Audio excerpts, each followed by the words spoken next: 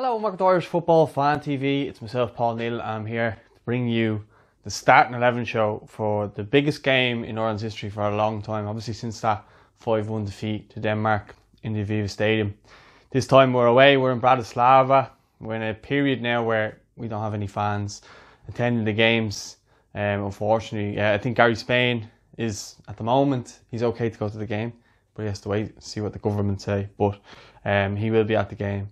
But anyway, we're going to get in and pick the team that I would like to see start against Slovakia. This team I'd like to see Stephen Kenny pick, not necessarily the team that he will pick. So, in goals, Darren Randolph, the experienced head, the one that keeps the calmness, the one that talks at the back. I was at the game against Finland and you could hear him just, he was the dominant force at the back, just constantly, like I know all keepers do that, but of all the defenders and stuff like that, and he was obviously the loudest because he's the keeper. But um, yeah, great head and shoulders, and you know, don't see anyone coming in and take Darren's place. He's the calmest at the back. then Matt Doherty at right back. Seamus Coleman's obviously injured and out for this one.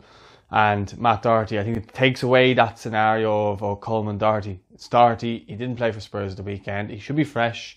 Um, he should have a run of or yeah, a run of games and some freshness in his game as well after playing a couple of games. The last time he came in, he was under preseason, so he's in there now. He's in there on merit as well because he had the jersey from the last couple of games. Um, Shane Duffy playing fantastically well at Celtic. Um, a few goals, a few assists, and a lot of really good performances for Celtic. People will argue the level that he's playing at, but I think once Shane Duffy's playing regular football, I don't think you need to worry about uh, his level. I think you'll see a far better Shane Duffy to the one we seen a month ago. And then John Egan, he's had a bit of a mixed start to the season. Results haven't gone Sheffield United's way. He obviously got a red card for I thought was very harsh. So he's having a bit of an up and down start to the season. Um, but again, I think he'll be fine to step in, and, and I think it, like him and Duffy are a brilliant partnership. Maybe last time they were playing together, they didn't really have a run of games under their belt at the time, but look, I think you can't really go without starting the two of them. They're the two informed centre backs, and you have Kevin Long there to step in if needs be. He's a good cover, he's a good backup uh, if needs be, if anything happens. Um, and then at left back, Enda Stevens, no competition. I think he's without doubt our best left back. Has, has done all right in the Premier League this season. Um, had a decent game against Arsenal there the other day. So uh, I got my end at left back. I think that's a bit of a no-brainer. I think most of you would agree with that back four and the keeper. Um, and I think, you know, unless you really have a vendetta against the players that are in that defence and goalkeeping situation, then you would agree pretty much. So in midfield and as the sitting defensive midfielder, uh, James McCarthy again.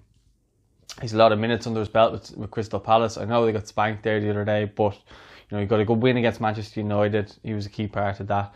Then they obviously played against um, Chelsea there and got beat 4 0. But, you know, I can't really say he was at fault for any of the goals or anything like that. And the way they were set up with the 4 4 2 and the way Chelsea were set up, they, they got a bit overrun in the midfield and it kind of showed towards the end of the game. But look, James McCarthy, I think coming in there, again, I talk about having that freshness when I talk about the last game he played um, against Bulgaria. He just didn't look fresh. I think the job would be for him now is to try and get on the ball, um, drop it deep, try and get the ball and turn out and try and bring other players into play and, and kind of penetrate through the lines.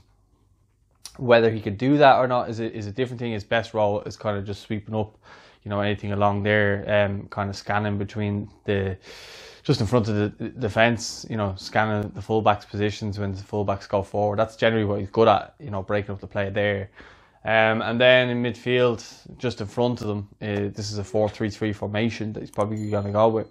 Um, I would have Conor Hourihane in there again. I know he was um, not playing for Villa against Liverpool, but he had started the season really, really strongly.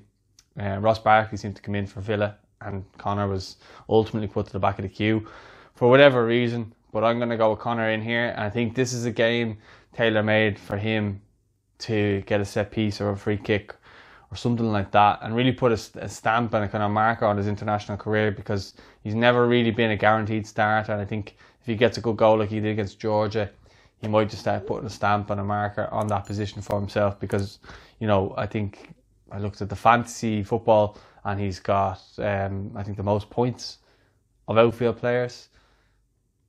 I think since the start of the season, or maybe it was going back to lock, to lockdown.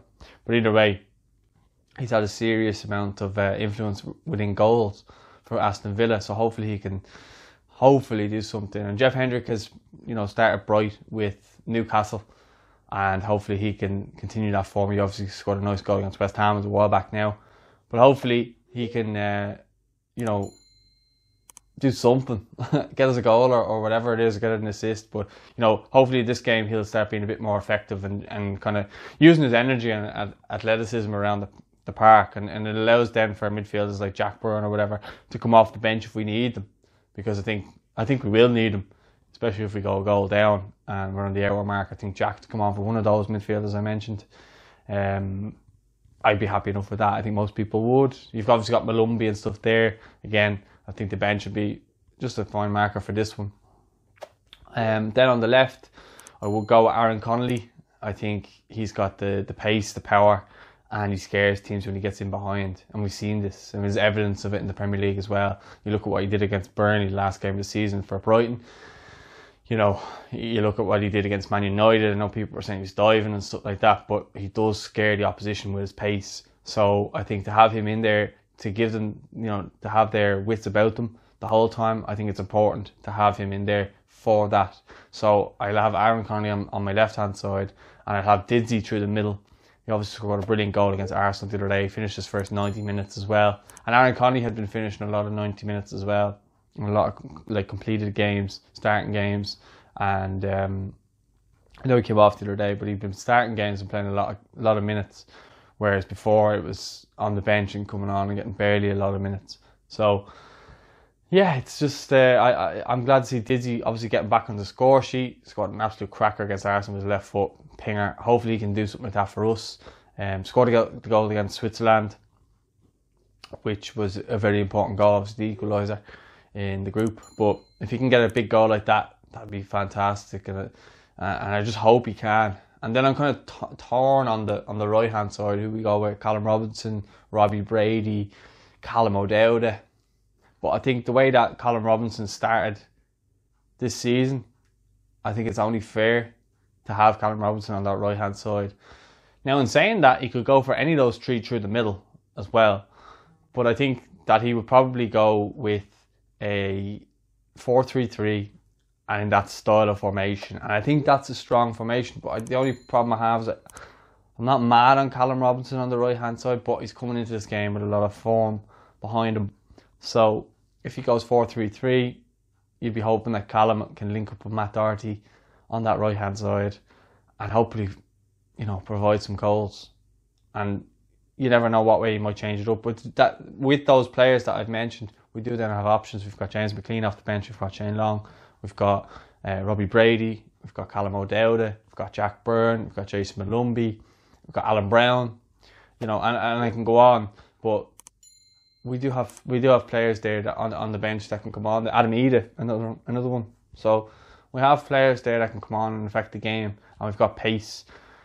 So that's my team anyway. Let, let me know your thoughts in the comments. If you want to get one of these uh, t-shirts, they're our own, and you can check it out. The link will be in the comments. IrishFanTV.myshopify.com and uh, head over, get yourself a t-shirt. We've a, a whole new range coming in soon, and we'll have a new range as well ahead of Christmas. But now would be a perfect time to get yourself a nice t-shirt and uh, support us if you can. Obviously, we're going through a situation at the moment where everyone's in the pandemic. So uh, if you can, happy days. If you can't, no problem. Um, hopefully this is it going to be a good week. Anyway, check out we've uh, press conferences with Callum Robinson, Callum O'Dowda. We've got my match preview with Gary. Um, I even did a Pro Evolution game between Ireland and Slovakia. Uh, that was a bit um, dramatic. So head over to our YouTube channel. You can check out all these videos because they're all there. I'll speak to you soon. Thanks for watching. Take care. Come on, you boys in green.